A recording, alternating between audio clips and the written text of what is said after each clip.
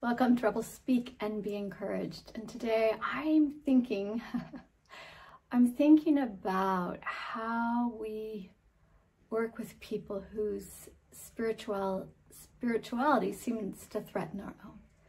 When we see things that we think are dangerous or something's, uh, we're quick to find fault because we believe it's righteous to find fault. And we're oriented to uh, righteousness in that manner. And I'm, i want to read from chapter 22 of the book of Joshua. It's a really fas fascinating study because what happens as they start approaching, so they, they come around and like if this is Canaan, the land of Canaan that they're going to inherit, and here's the Jordan River.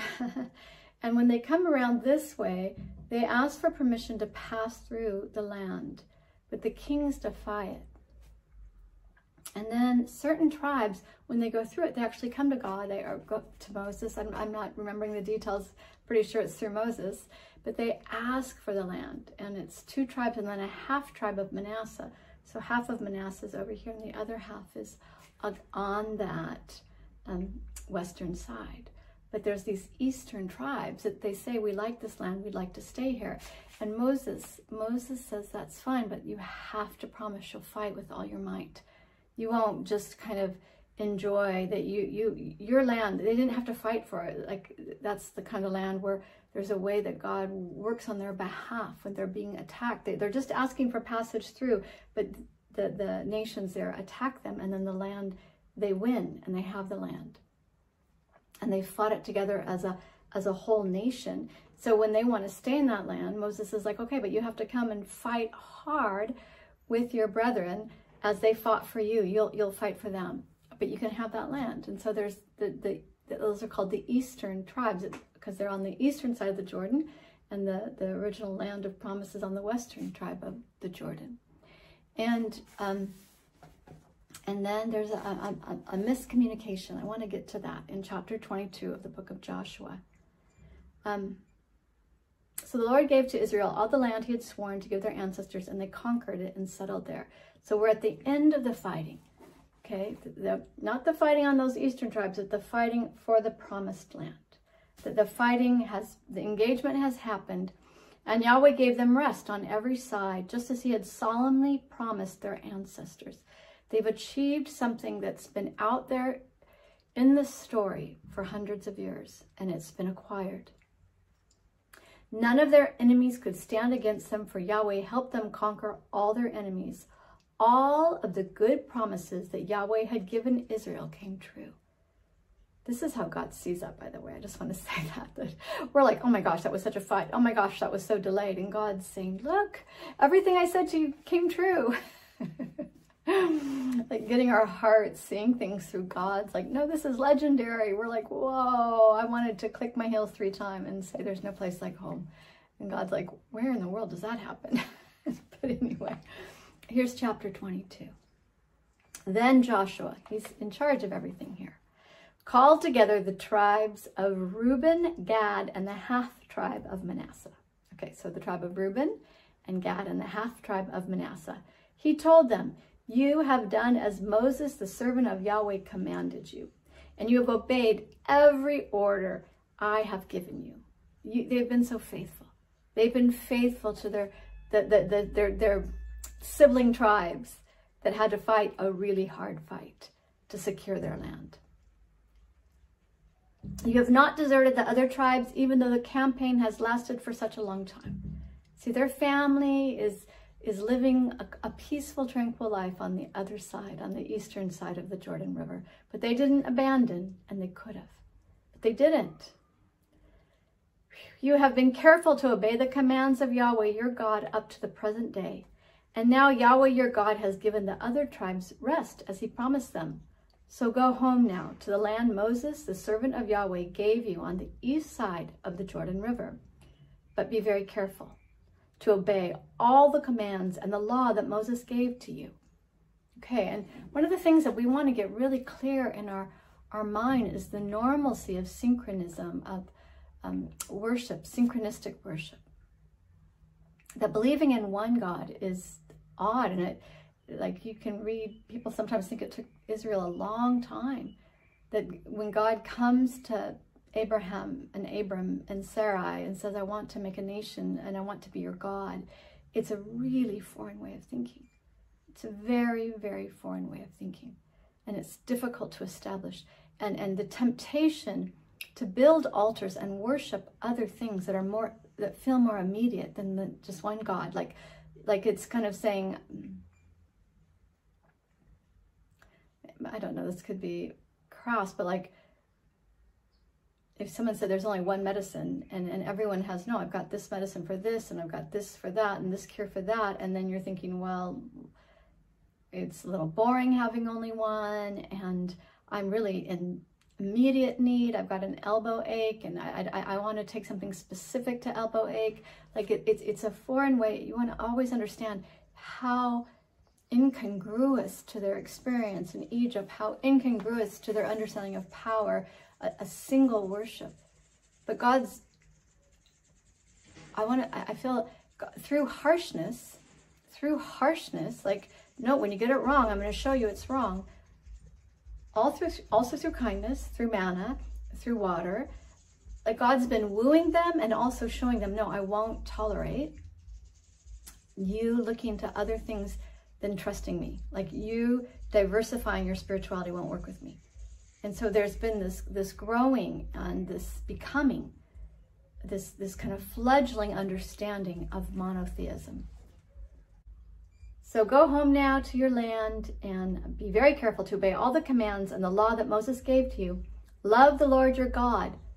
Walk in all his ways, obey his commands, be faithful to him, and serve him with all your heart and all your soul. That sums it up. So Joshua blessed them and sent them home. Now Moses had given the land of Bashan to the half tribe of Manasseh east of the Jordan. The other half of the tribe was given land west of the Jordan. As Joshua sent them away, he blessed them and said, Share with your relatives back home the great wealth you have taken from your enemies. Okay, they've got they've got their victory wealth that they've gained for fighting with their tribal brothers, their tribal siblings um, west of the Jordan. Share with your relatives back home the great wealth you have taken from your enemies. Share with them your large herds of cattle, your silver and gold, your bronze and iron, iron, and your clothing. This is the celebration. Go home and live in the fullness of who you are. And, and, and there's a reward for how you fought alongside us. So the men of Reuben, Gad, and the half tribe of Manasseh left the rest of Israel at Shiloh in the land of Canaan. And Shiloh is that, I'm pretty sure, the earliest place of worship there. So they, they leave them there and they leave for the eastern side of the Jordan. And they started the journey back to their own land of Gilead, the territory that belonged to them according to the Lord's command through Moses. But while they were still in Canaan, okay, they're still, they haven't crossed the river. Before they crossed the Jordan River, Reuben, Gad, and the half tribe of Manasseh built a very large altar near the Jordan River at a place called Geliloth. Okay, so they build an altar.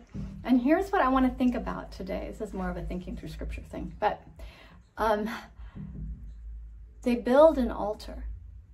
And it's kind of, well, what does that mean? But no one asks that question everyone presumes to know what it means to build an altar.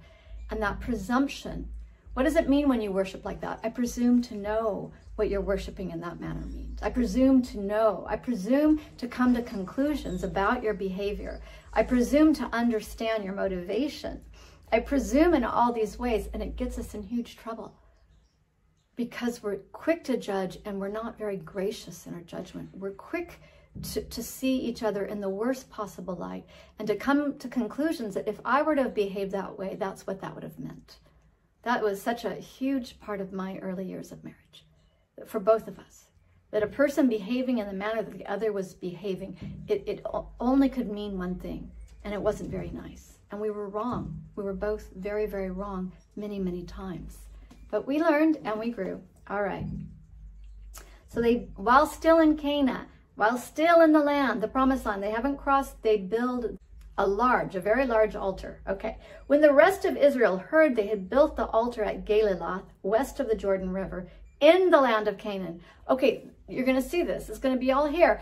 We don't want to mess with God. When God's mad, right? There's been Achan, the land of Achan, like when God's man mad, far more than just the guilty party. like all of the rest of us pay a price. We don't want your mistake.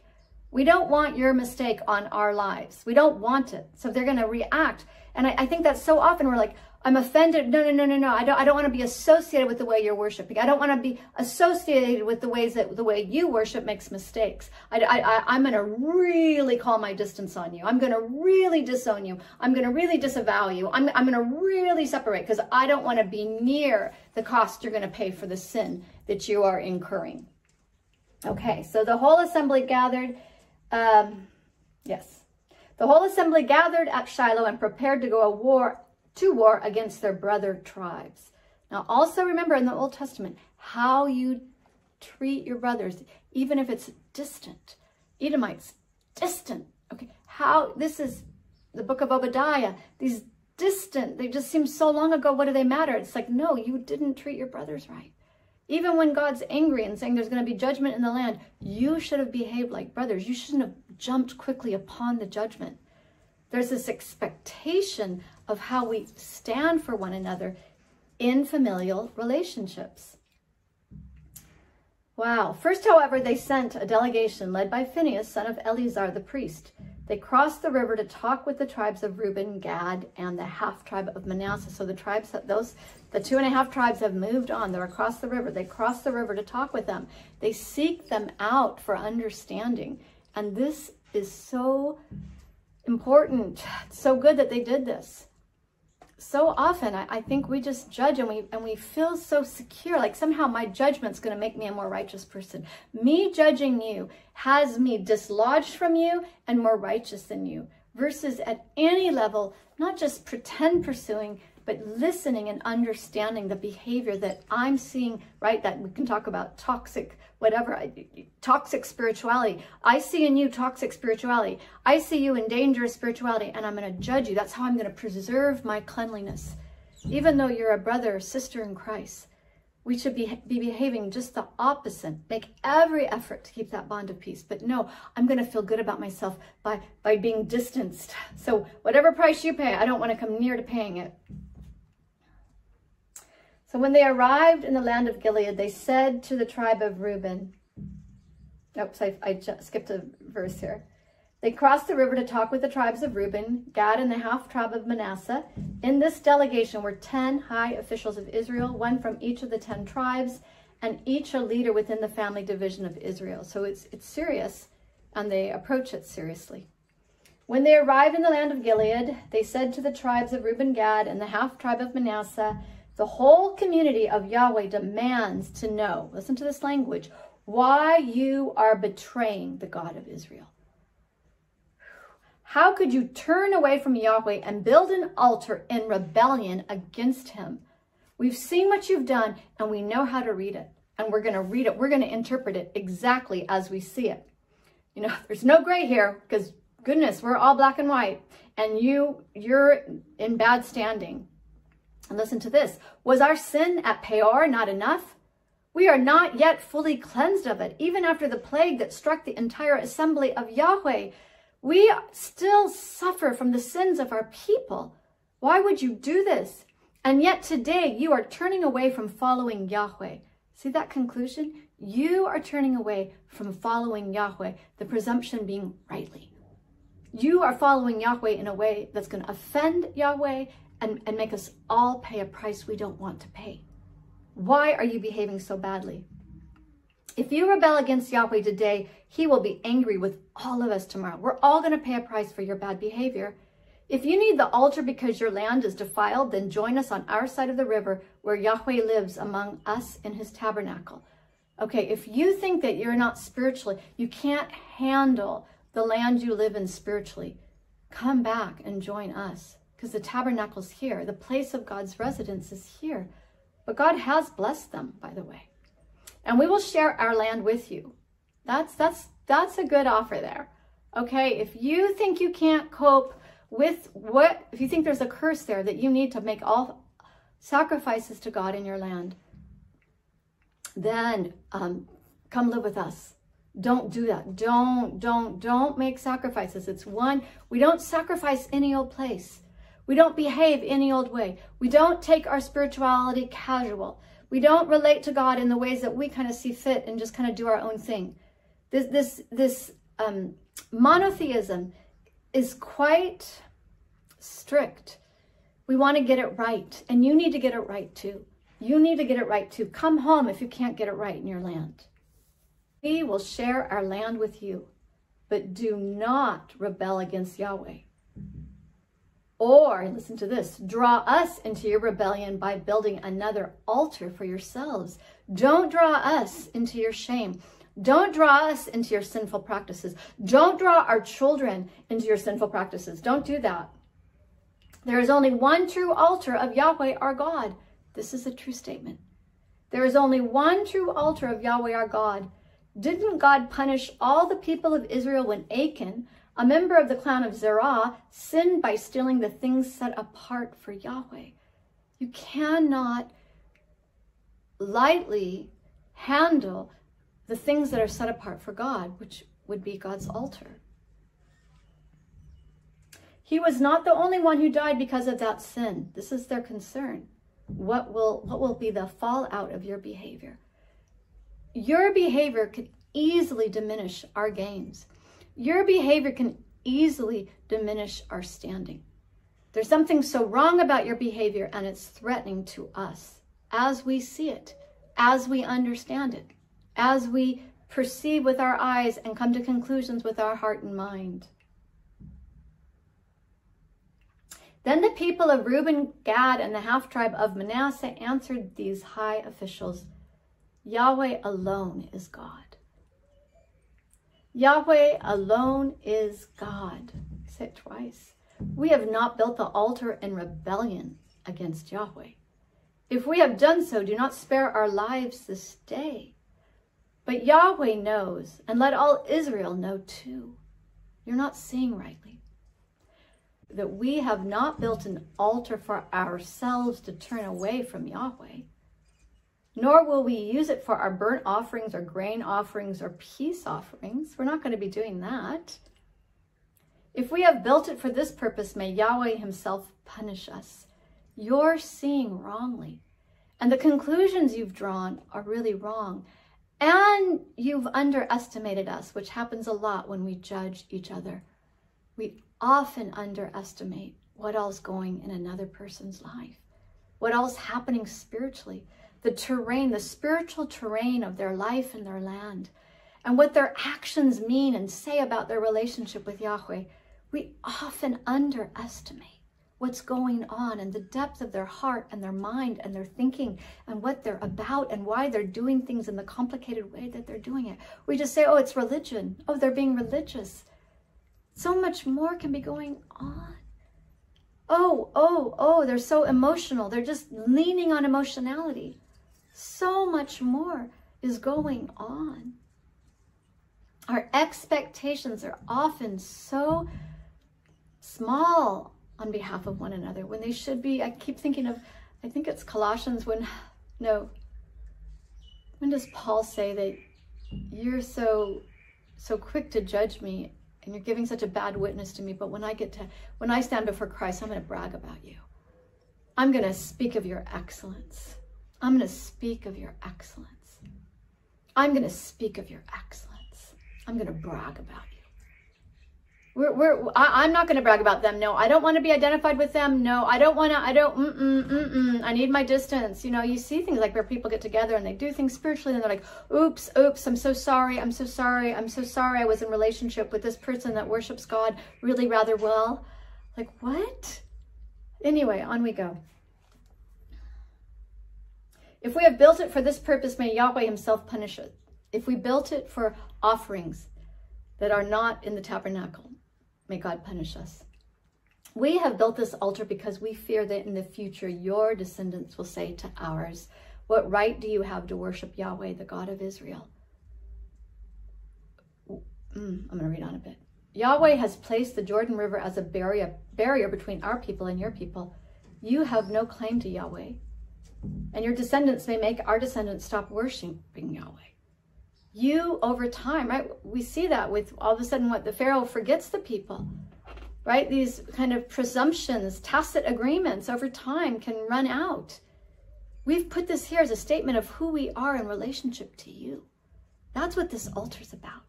That your children not someday say to our children, you can't come into this land anymore and worship. You're not really a part of us.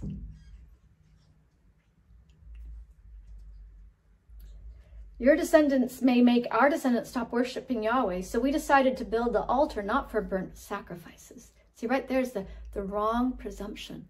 There's a presumption that's an error of how they're behaving or how they're planning on behaving or what, what behavior is seen behind the actions. What um, bad, faulty behavior is being associated with the actions that are being seen. That's the problem the presumption of behavior, of bad behavior that's implied or tied to in the mind of those Western tribes with the behavior of the built altar. It's not there to burn sac sacrifices, it's a memorial. I just love this. I have loved it. Mm. it. I've loved it since a Bible study where that's when it really just jumped out at me with so much power and authority. It will remind our descendants and your descendants. This is a memorial, a reminder that we too have the right to worship Yahweh at his sanctuary. It's, it's to keep things right so that we can worship rightly, that we not be cut off from what is legitimately ours, that we can worship Yahweh at his sanctuary with our burnt offer, sacrifices and peace offerings. And then your descendants will not be able to say to ours, You have no claim to Yahweh. If they say this, our descendants can reply, Look at this copy of Yahweh's altar that our ancestors made. Here is a memorial that tells you and declares who we are, that we're a part of you. It is not for burnt offerings or sacrifices. It's a reminder of the relationship. I want you to get this. I love it. It is a reminder of the relationship both of us have with Yahweh. It's a statement of who we are, who we are as children of Israel. It's a statement of who we are. It's a statement of identity. It's, it's a behavior that reminds us of who we are in Christ. That's a shift I just made there. But so often we are critical of ways that people experienced, have experienced themselves in Christ and continue to experience them in self, themselves in Christ through that familiar of knowing, right? As Paul says, why are you so quick to abandon the ways that you've met Christ? There's different ways. I'm not talking about vagueness. I'm talking about enculturation of, of worship and the behaviors that are familiar that help awaken our heart to the reality of worship of the Father through the person of Jesus Christ in a world of billions of people. A God that delights, right? Delights, that has established creativity and the evidence of creativity and diversity loudly throughout creation. And yet, right, they can't worship wrongly.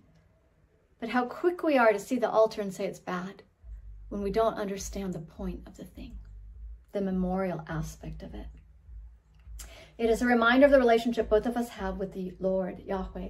Far be it from us to rebel against Yahweh or turn away from him by building our own altar for burnt offering, grain offering, or sacrifices, detestable behaviors. Only the altar of Yahweh our God that stands in front of the tabernacle may be used for that purpose.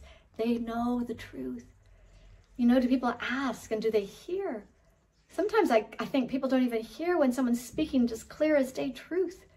They're speaking spiritual truth. Oh, nope, nope, nope, nope. Everything, everything I see in your behavior looks very questionable to me. And, and here your life's witnessing, witnessing to the intimacy and the love, the, the, the Holy Spirit witness of Christ at work in your life. The fruit, right? What do they look for? They look for when they hear about the fruit in the Gentiles' lives. They, they shift a lot of criteria, and yet there's some things you can't you can't take the, the reality that we uh, procreate through sexuality. You can't you can't rewrite that reality. You can't rewrite that one. When Phinehas and the priests and the high officials heard this from the tribes of Reuben, Gad, and the half tribe of Manasseh, they were satisfied.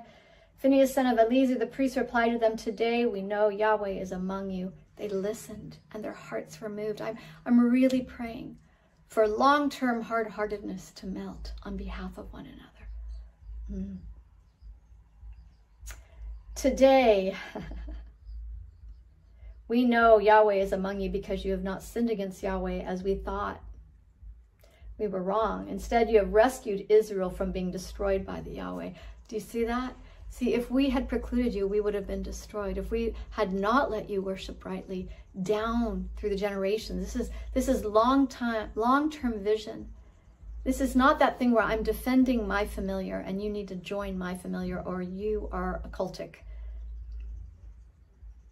Or your long-term behavior is so dead it's not it's it's it's old wineskin you need to liven it up or i don't know there, there's just ways that our hearts can grieve god because we don't dialogue long enough to hear the joy of one another's relationship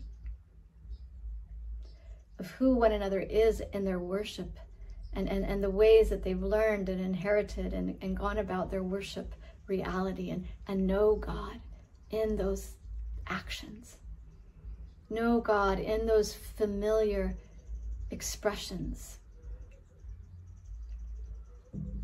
You have rescued Israel from being destroyed by Yahweh. Then Phinehas, son of Eleazar the priest, and the ten high officials left the tribes of Reuben and Gad in Gilead and returned to the land of Canaan to tell the Israelites what had happened. And all the Israelites were satisfied. I hope we can be satisfied and praised God and spoke no more of war against Reuben and Gad. And they've dropped the name, the half tribe of Manasseh. And the people of Reuben and Gad named the altar witness, for they said it is a witness between us and them that Yahweh is our God too. Yahweh is our God too. Open your ears to the witness of the story of brothers and sisters' lives. Even if you're like, I, I, I don't know, I wish more for you, I wish some of this for you, or we, we can always say, huh, I found this, or we're always free to speak, but we're not free to conclude the name of Christ is being worshiped and honored and righteousness is in the land. Mm, that's faulty. It's faulty. And this is a beautiful chapter, a beautiful chapter to meditate and ponder and be encouraged to, to walk that mile, right? Walk that mile into a brother and sister's worship story and learn and hear how they experience the salvation and love of God through the traditions and the ways of worship they know. The, the, the stuff that's working so well, that feeds their soul and brings joy to they and their household. Be blessed, be encouraged.